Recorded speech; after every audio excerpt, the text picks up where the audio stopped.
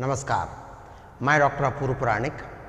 आज आपके साथ डॉक्टर और मरीज़ के रिश्तों के बारे में बात कर रहा हूँ और सबसे महत्वपूर्ण चीज़ है, मरीज़ के द्वारा अपनी कहानी का वर्णन, अपनी बीमारी का वर्णन, जिसे हम लोग मेडिकल की भाषा में हिस्ट्री टेकिंग कहते हैं। हिंदी में कहें तो इतिवृत्त। डॉक्टर और मरीज़ का रिश्ता बहुत ही खास रिश्ता है। और मैं शुरुआत में ही एक प्रसिद्ध चिकित्सक जो पिछली शताब्दी में 19वीं शताब्दी में फ्रांस में हुए थे। कई लोगों ने उनका नाम सुना होगा। Shri Louis Pasteur. उनका एक कथन उद्धृत करना चाहूँगा। उन्होंने कहा था, मैं ये नहीं पूछता तुमसे कि तुम्हारी जाति क्या है, धर्म क्या है, नस्ल क्या है, राष्ट्रीयता क्या है, विचारधारा क्या है। मैं तो एक डॉक्टर के रूप में केवल यही पूछता हूँ कि तुम्हारी तकलीफ़ क्या है। तो एक डॉक्टर हमेशा अपने मरीज़ की पीड़ा उसके दुखों उसकी तकलीफ़ों उसकी बीमारियों के बारे में जानने को उत्सुक रहता है। सर एक आपका हाथ का बैलेंस बराबर नहीं रहा अच्छा। हाँ ठीक है। तो कहाँ से री पूरा रिटेक करूँ या? नहीं ये अपन जो आखिरी लाइन छोड़ी हाँ वहीं से करता हूँ। वाला लेता हूँ। 19वीं शताब्दी में फ्रांस के एक प्रसिद्ध चिकित्सक, लुई पाश्चर का नाम आप लोगों ने सुना होगा। उन्हीं का एक कथन मैं उद्धृत करता हूँ। उन्होंने कहा था, मैं यह नहीं पूछता मरीज़ से कि तुम्हारी जाति क्या है, धर्म क्या है, नस्ल क्या है, राष्ट्रीयता क्या है, विचारधारा क्या है। मैं तो सिर्फ़ यह पूछता हूँ कि तुम्हारी तकलीफ़ क्या है। एक डॉक्टर अपने मरीज़ से उसकी पीड़ा, उसके दुख, उसकी तकलीफ़ जानना चाहता है और यही मरीज़ भी चाहता है। उसके घर वाले चाहते हैं कि वे अपनी कहानी, अपनी कथा, अपना किस्सा बयान कर पाएँ ताकि डॉक्टर उसको सुनकर, समझकर, सही निदान कर पाए। यह जो कला है, मरीज़ का इतिहास पूछने की, उसकी बीमारी का इतिहास पूछने की, इससे सीखने में डॉक्टरों को अनेक बरस लग जाते हैं। ये विज्ञान कम है और कला ज़्यादा है। बड़े अनुभव के साथ बहुत बहुत मरीजों से बात करने के बाद, बहुत मरीजों को सुनने के बाद ही डॉक्टर बहुत अच्छी तरह से अपने मरीज़ की हिस्ट्री ले पाता है। जब एक मरीज़ किसी डॉक्टर के पास पहुँचता है तो वो प्रायः तनाव में रहता है, दुख में रहता है, टेंशन में रहता है, डरा हुआ रहता है। उसके मन में तरह तरह की शंकाएँ, कुशंकाएँ रहती हैं कि पता नहीं मेरी बीमारी में क्या निकलेगा, मुझे क्या चीज़ बताई जाएगी। और वो हड़बड़ी में रहता है। बहुत सारी बातें वो एक साथ कहना चाहता है।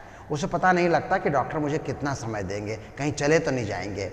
उसकी कहानी बहुत लंबी थी, उसके बहुत सारे लक्षण थे, उसको बहुत सारे सिम्टम्स थे, उसने बहुत सारे डॉक्टरों को दिखाया था, उसने नाना प्रकार के इलाज कराए थे, उसकी कहानी में बड़े उतार चढ़ाव आए थे, कभी बीमारी घटी थी, कभी बढ़ी थी। इस सबको सिलसिलेवार तरीके से, धैर्य के साथ क्रमबद्ध तरीके से विस्तार में सुनाने के बजाय मरीज़ प्रायः सब चीज़ों को गड्ढमड्ढ कर देते हैं मिक्सचर कर देते हैं जल्दी जल्दी में बोलने लगते हैं उल्टे पुल्टे क्रम में उन्हें मिला देते हैं।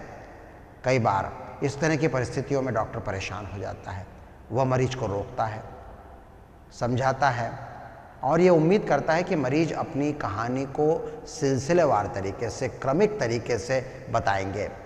कई बार क्या होता है कि मरीज़ किसी एक नई बीमारी या किसी खास बीमारी के लिए डॉक्टर के पास आता है जिसको कि हम लोग मेडिकल की भाषा में प्रेजेंटिंग सिम्टम बोलते हैं। प्रेजेंटिंग। जिसको हाँ।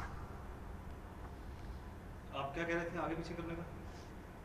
वो कभी बीच में बीच बीच। जूम आउट जूम इन कैसा करना है कभी फिर वो एक्शन करने ये जिस एक्चुअली हाँ। जिस वक्त एक्शन करते हैं ना मैं कोशिश करता हूँ कि आप पीछे आ जाओ। हाँ। ठीक है।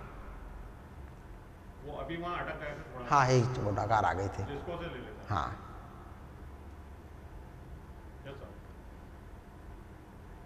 कई बार मरीज़ गड़बड़ी सॉरी कई बार मरीज़ हड़बड़ी में रहते हैं और वे अपनी प्रेजेंटिंग सिम्टम मतलब जिस लक्षण या जिस तात्कालिक बीमारी के कारण या तकलीफ़ के कारण वो आए हैं उसको ठीक से बयान नहीं कर पाते और कई बार वो पुरानी बीमारियाँ या पुराना इतिहास से शुरू करते हैं। और पुरानी बीमारी और नई बीमारी के बीच की जो विभाजन रेखा है, उसको समझ नहीं पाते, उन्हें मिला देते हैं, मर्ज कर देते हैं। कई बार पुरानी अवस्थाएँ, पुरानी बीमारियाँ, पुराने कारण वर्तमान संदर्भ में रेलेवेंट होते हैं। उनका अर्थ होता है, उनका महत्व होता है, और कई बार उनका महत्व नहीं होता। उदाहरण के लिए, एक मरीज़ ने कहा, मुझे 10 साल पहले एक्सीडेंट में कमर में चोट लगी थी और मुझे कमर में दर्द रहता है। जबकि मालूम ये पड़ा कि चोट तो बहुत मामूली सी थी और ये जो दर्द आज की तारीख में कमर में हो रहा है, ये केवल पिछले छः महीने से हो रहा है। बीच के साढ़े सात साल वो मरीज़ बिल्कुल अच्छा था। तो आज जो दर्द हो रहा है, शायद उसका उस पुरानी चोट से कोई संबंध नहीं है, लेकिन मरीजों की और घर वालों का स्वभाव होता है कि वो दोनों चीज़ों को जोड़ कर देखते हैं। जहाँ संबंध नहीं होता, वहाँ पर संबंध की कल्पना करने लगते हैं, संबंध के बारे में सोचने लगते हैं और हिस्ट्री इस तरह से देते हैं कि डॉक्टर को भी सुन के लगता है कि अच्छा ये दर्द जो है वाकई में चोट के बाद शुरू हुआ होगा। मरीज़ ये बात नहीं बताते डॉक्टर को कि दोनों में साढ़े सात साल का गैप था। इसी तरह से कई बार मरीज़ किसी इलाज को लेकर सोचते हैं कि मेरे को फला फला डॉक्टर ने ये दवा दी थी, ये इलाज किया था और उसके बाद से मुझे तकलीफ़ हुई। या मैंने फला ऑपरेशन कराया था, उदाहरण के लिए कई महिलाएँ आती है और कहती है कि उन्होंने टीटी का ऑपरेशन कराया था, फली, परिवार नियोजन का ऑपरेशन कराया था और उसके बाद से उन्हें तकलीफ़ रहने लग गई। जबकि दोनों का आपस में संबंध होना कतई ज़रूरी नहीं है। मरीज़ जब अपने लक्षणों की बात करता है तो उसे कोशिश ये करना चाहिए कि डॉक्टर के पास जाने के पहले वो क्या कहना चाहता है, इसको लिख के ले आए, उसके जितने भी लक्षण हैं उनकी एक सूची बना के ले आए और ये जो सूची है, ये क्रमबद्ध तरीके से होना चाहिए, समय के साथ होना चाहिए। ना जो लक्षण पहले आया था, वो पहले, जो बाद में आया था, बाद में, जो और बाद में आया था, वो बाद में। तो इसको हम लोग मेडिकल की भाषा में कहते हैं टाइम लाइन या क्रोनोलॉजिकल आर्डर उस तरह से लेकर आए। और एक चीज़ में और मरीजों को सलाह देना चाहूँगा कि उन्हें तकनीकी शब्दों से बचना चाहिए। एक मरीज़ ने आके कहा, मुझे एक महीने पहले टाइफाइड बुखार हुआ था। किसने कहा कि टाइफाइड हुआ था? किस आधार पर निष्कर्ष निकाला कि टाइफाइड हुआ था, मैं इस शब्द को स्वीकार नहीं करता, एक डॉक्टर के रूप में। मैं मरीज़ से कहता हूँ, भाई तुम बीमारी का वर्णन करो। टाइफाइड में तुम्हें बुखार था, कितने दिन था, कितना तेज बुखार था, ठंड लग के आता था कि बिना ठंड लग के आता था, उतर जाता था कि लगातार बना रहता था, बुखार के साथ और क्या क्या होता था? तुम वो डिटेल बताओ, तब मैं फैसला करूँगा कि तुम्हें जो बुखार था वो टाइफाइड था कि नहीं। मेरे को तुम टेक्निकल शब्द मत दो। कोई मरीज़ आके बोलता है कि मेरे को बीपी की बीमारी है ब्लड प्रेशर की बीमारी है। किसने नापा? नापा तो नहीं था, मेरे को लगता है। मेरे को सिर भारी हो जाता है, घबराहट होने लगती है। मैं समझ जाता हूँ मेरा बीपी बढ़ा हुआ था, नपवाया तो नहीं मैंने। तो इस तरह से जब मरीज़ कोई तकनीकी शब्द बोलता है टाइफाइड ब्लड प्रेशर शुगर तब उसके पास वर्णन होना चाहिए। कोई भी डॉक्टर उस तकनीकी शब्द को मरीज़ के कहने अनुसार सीधे सीधे बिना सबूत के, बिना प्रमाण के स्वीकार नहीं करेगा। और इसीलिए हम डॉक्टर लोग अपने मरीजों से उम्मीद करते हैं कि वो अपनी हिंदी भाषा में, सामान्य भाषा में, आम बोलचाल की भाषा में बातें करें। मरीज़ जब आते हैं तो उनके मन में बहुत सारी भावनात्मकता रहती है। बहुत सारे डर रहते हैं, बहुत चिंताएँ रहती हैं, बड़े पीड़ित रहते हैं और निस्संदेह वह पीड़ा वो भावनाएँ ज़रूर आना चाहिए। लेकिन मरीजों को चाहिए कि वो न तो अपनी भावनाओं को बढ़ा चढ़ा के पेश करें और न उनको कम करके पेश करें, क्योंकि उससे भी इलाज में डायग्नोसिस में फ़र्क पड़ सकता है। एक चीज़ और मैं कहना चाहूँगा कि कई बार मरीज़ कुछ शब्दों का ऐसा उपयोग करते हैं जिनके एक से अधिक अर्थ होते हैं, और मरीज़ ये मान के चलता है कि डॉक्टर को तो ये अर्थ पता ही होगा। हमारे न्यूरोलॉजी में बहुत सारे मरीज़ एक कॉमन शब्द लेके आते हैं, चक्कर। मुझे चक्कर की बीमारी है, लेकिन चक्कर के बहुत सारे अर्थ होते हैं। मुझे पूछना पड़ता है मरीज़ से चक्कर से आपके मायने क्या हैं? मुझे यहाँ पर एलिस इन वंडरलैंड, जो एक प्रसिद्ध अंग्रेज़ी साहित्य की रचना है, क्लासिक रचना है, उसमें एलिस नाम की लड़की ने एक बार कहा था, उसका एक कथन याद आ जाता है। एलिस ने कहा था whenever I use a word I mean exactly what I want to mean मैं जब भी कोई शब्द का उपयोग करती हूँ तो उसका अर्थ उतना सटीक होता है, इतना सटीक होता है कि मैं जो सोचती हूँ, वही उसका अर्थ होता है। अब एलिस के दिमाग में घुसने किस, घुसकर किसने देखा कि उस शब्द का क्या मतलब था? यही काम अनेक मरीज़ अपने शब्दों के साथ करते हैं। ऐसी स्थिति में डॉक्टर को उनसे पूछना पड़ता है, आपका क्या मतलब? जब एक मरीज़ चक्कर बोलता है तो मैं आपको उदाहरण दूँगा, कितने तरह के मरीज़ आते हैं जो अलग अलग बीमारियों से ग्रस्त है, लेकिन शब्द एक ही बोलते हैं, चक्कर। उदाहरण एक। एक मरीज़ आया, उसने कहा, मैं जब मैदान में खड़ा था पुलिस के परेड ग्राउंड में। पुलिस कर्मचारी हूँ। बहुत धूप थी। कंधे पर राइफल थी। परेड ग्राउंड था। सुबह से नाश्ता नहीं किया था। पानी नहीं पिया था।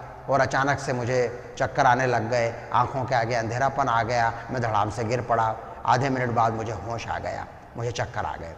इसको हम लोग मेडिकल की भाषा में कहते हैं सिंकपी, यानी मूर्छा।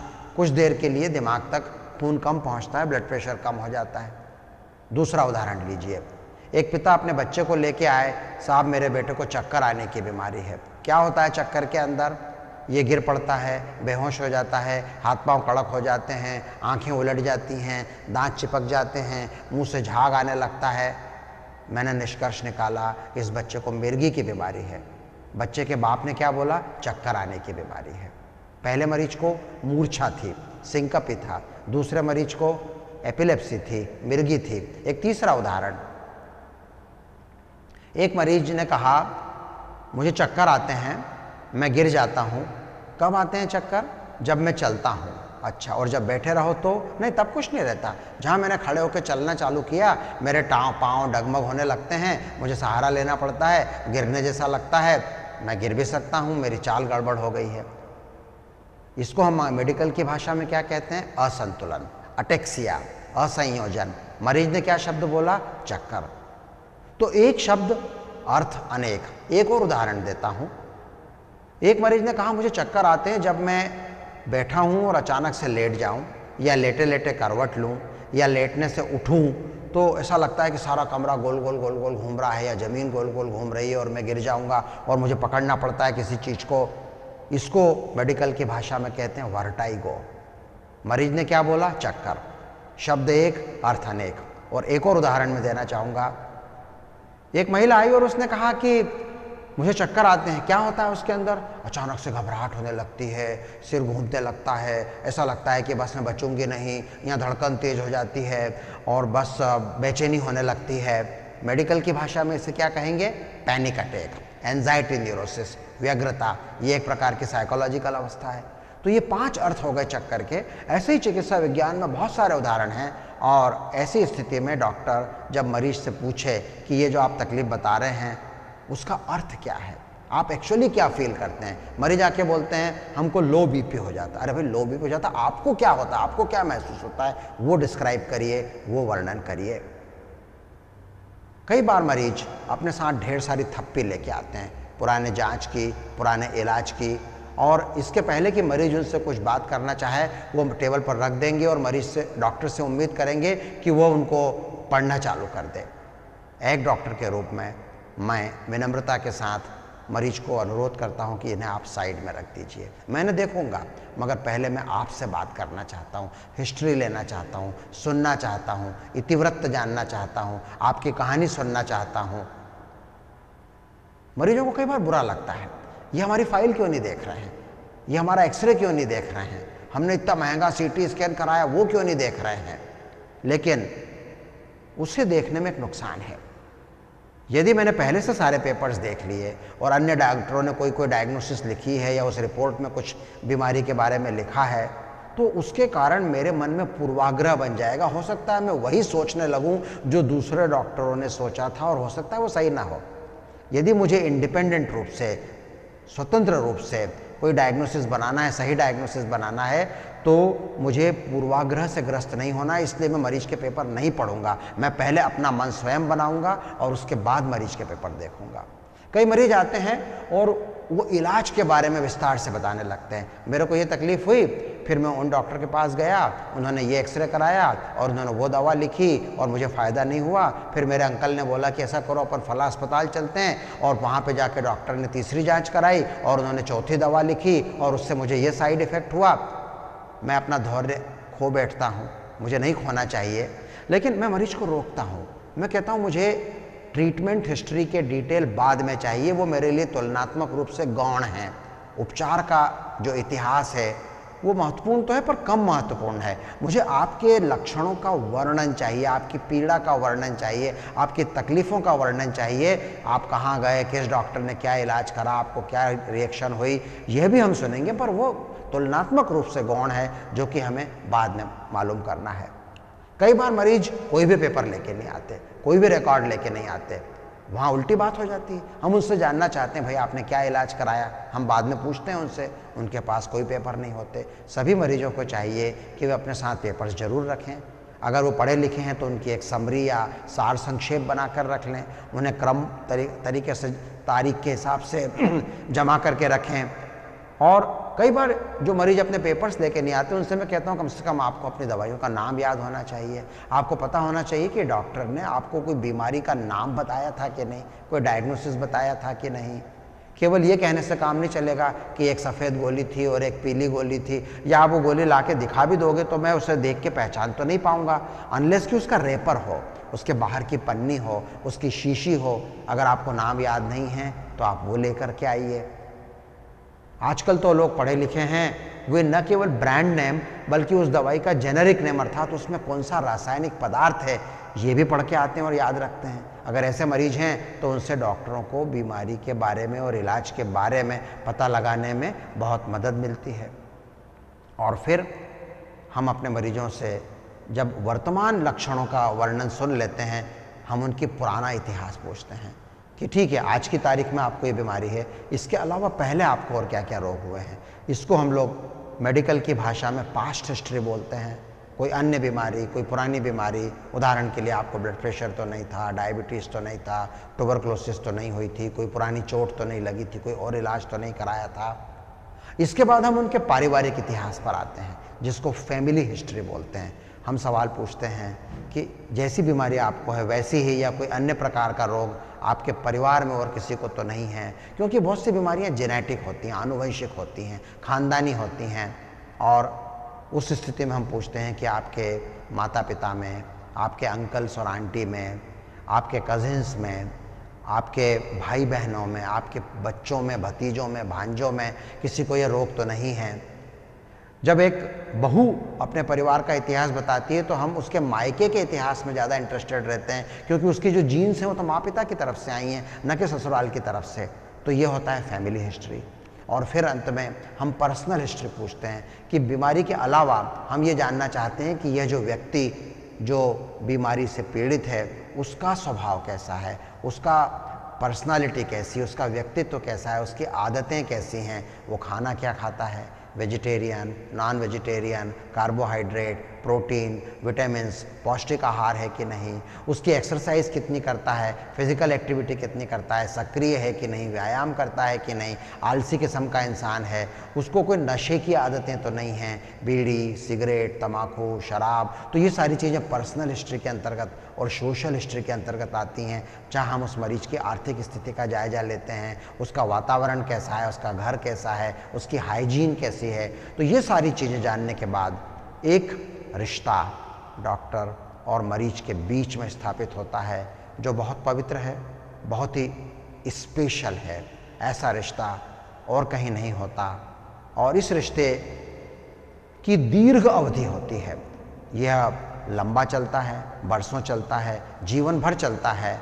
इसके अंदर एक मित्रता विकसित होती है, एक भावनात्मक लगाव विकसित होता है, एक विश्वास का संबंध पैदा होता है। डॉक्टर और मरीज़ दोनों को एक दूसरे के लिए पर्याप्त समय देना पड़ता है और एक सहानुभूति के साथ एम्पैथी के साथ अपनी चीज़ों को सामने रखना पड़ता है। इस तमाम चर्चा में मरीज़ अपने दिल की बातें खोल कर रखता है, मगर डॉक्टर भी उतना ही हिस्सेदार बनता है। उसके मन से भी वैसी भावना है, वैसा ही संबंध अपने मरीज़ के प्रति स्थापित होता है। तो मित्रों, मैं ये कहना चाहूँगा कि अपने डॉक्टर के पास जब कभी भी जाएँ, थोड़ी सी तैयारी करके जाएँ थोड़ा सा मन में सोच के जाएँ कि आप क्या कहना चाहते हैं, क्या चीज़ महत्वपूर्ण है, उसको सिलसिलेवार तरकीब से जमा कर ले जाएँ और डॉक्टर जो पूछे उसको ध्यान से सुनकर जवाब दें और इस रिश्ते की इज़्ज़त करें। धन्यवाद।